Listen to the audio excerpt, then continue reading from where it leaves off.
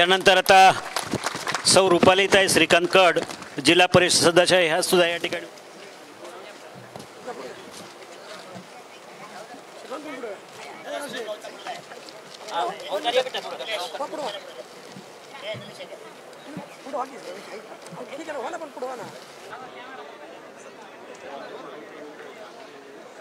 शिरूर आणि शिक्रापूर खेड आणि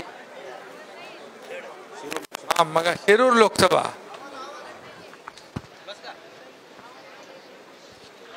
आपल्या सगळ्यात आधी माजी आमदार स्वर्गीय सुरेश गोरे यांना मी भावपूर्ण श्रद्धांजली अर्पण करतो. आणि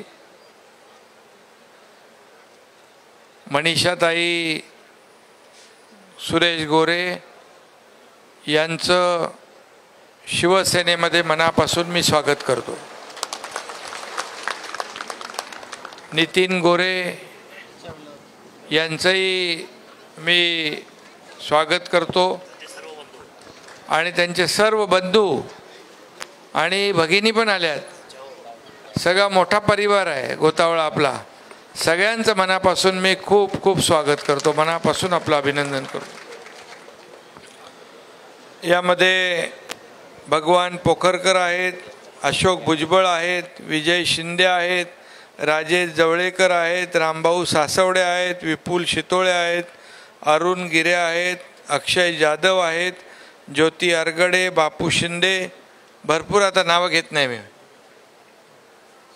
सर्व पदाधिकारी कार्यकर्ते यांचं शिवाजीराव आढळराव पाटील यांच्या मार्गदर्शनाखाली आणि शरद सोनवणे पण इकडे आहेत. बिबट सफारी झालेली आहे. मी सगळ्यांचंच मनापासून स्वागत करतो आपल्या सगळ्यांना शुभेच्छा देतो. खरं म्हणजे नितीन आणि मनीषाताई आणि सुरेश भाऊंचा सगळा परिवार आणि सर्व कार्यकर्ते मोठ्या संख्येने आज बाळासाहेबांच्या विचारांच्या शिवसेनेमध्ये दाखल झालेले आहेत.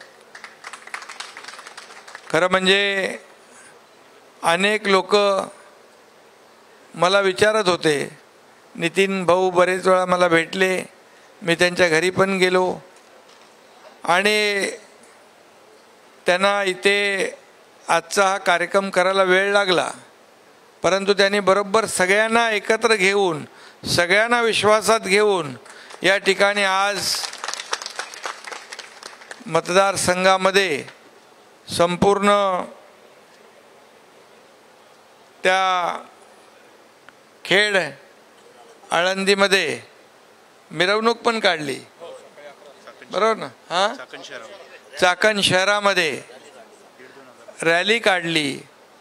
आणि त्यानंतर आज असा मोठा प्रवेश या ठिकाणी झाला. खरं म्हणजे सगळ्यांना विश्वासात घेतल्यामुळे एक मोठी ताकद मोठी एकजूट या चाकण परिसरामध्ये आपल्याला भविष्यामध्ये पाहायला मिळेल.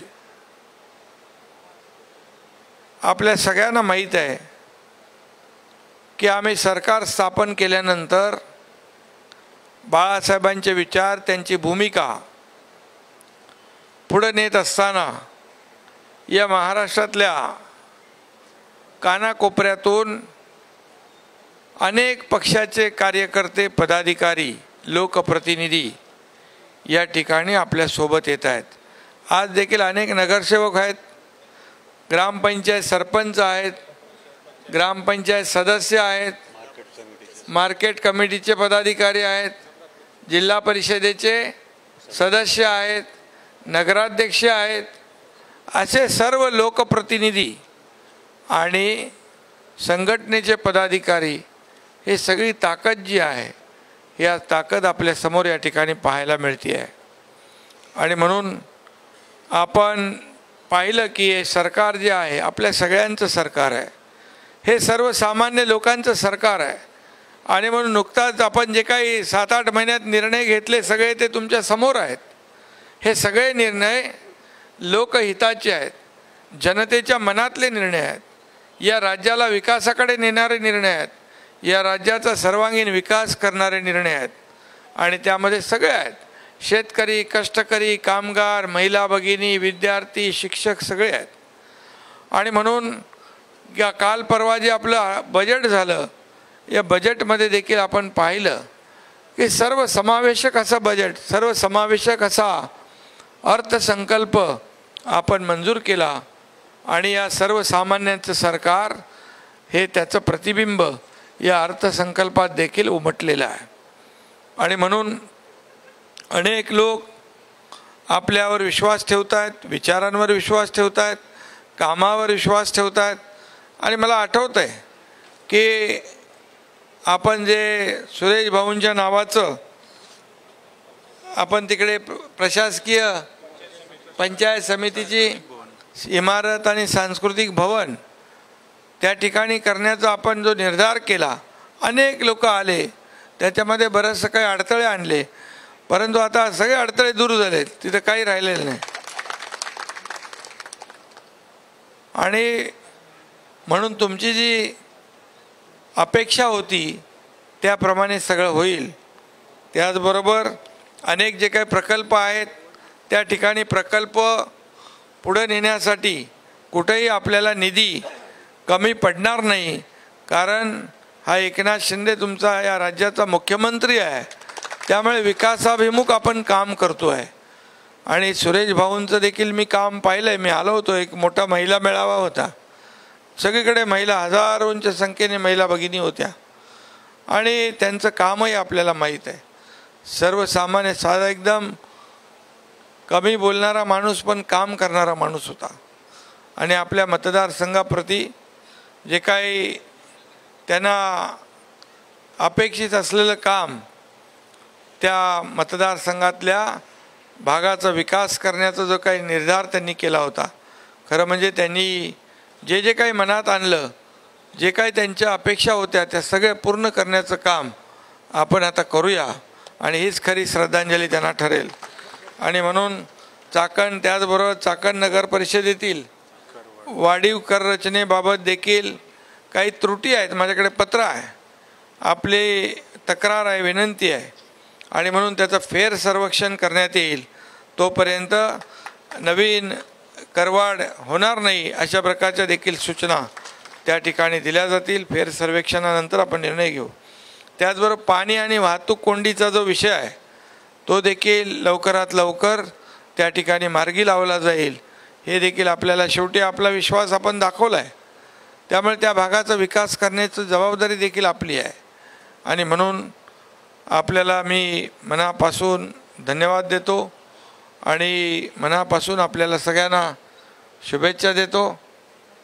आपले शिवाजीराव आढळराव पाटील त्या भागाचे नेते आहेत. त्यांचं मार्गदर्शन सगळ्यांची साथ. आणि नितीन पण मला वाटतं ह्याच्यावर आहे ना आपला? महाराष्ट्र प्रदूषण महामंडळावर सदस्य आहे. आणि त्या भागामध्ये आपल्याला ज्या ज्या काही विकासाच्या बाबी आणायच्या आहेत ते नक्की त्या ठिकाणी तो निर्णय घेतला जाईल. आणि मला शिवनेरीला गेल्यावर शरदने सांगितलं होतं बिबट सफारी बिबट सफारी बोललो त्याला काय वाटलं काय बजेटमध्ये येईल की नाही त्याला डाऊट होता. पण मी एकदा बोललो की बोललो ते करतोच.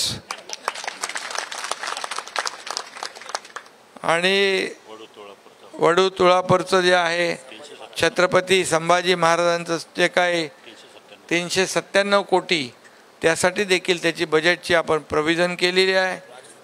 राजगुरुनगर त्यासाठी देखील आपलं हुतात्मा राजगुरू स्मारक सगळे भीमाशंकर इतर आपली देवस्थानं आहेत. हे सगळे जे आहे गडकोट किल्ले आहेत याची आपली ही प्राचीन संस्कृती आहे आपली परंपरा आहे. आपला इतिहास छत्रपती शिवाजी महाराजांचा आहे. तो जपला पाहिजे आणि त्याचं संवर्धन केलं पाहिजे यासाठी सरकार कटिबद्ध आहे. आणि म्हणून तुम्हाला सगळ्यांना मी ताई खूप खूप शुभेच्छा देतो. नितीन आपले मनापासून अभिनंदन करतो. आणि तुमच्या सर्व परिवार आणि कार्यकर्त्यांना मनापासून शुभेच्छा धन्यवाद जय हिंद. जय महाराष्ट्र. देश विदेशातील प्रत्येक घडामोडींचे लाईव्ह अपडेट मिळवण्यासाठी आता साम टीव्हीच्या सर्व सोशल मीडिया प्लॅटफॉर्मला लाईक फॉलो आणि सबस्क्राईब करा. तसंच सर्व नोटिफिकेशनसाठी बेल आयकॉन प्रेस करायला विसरू नका.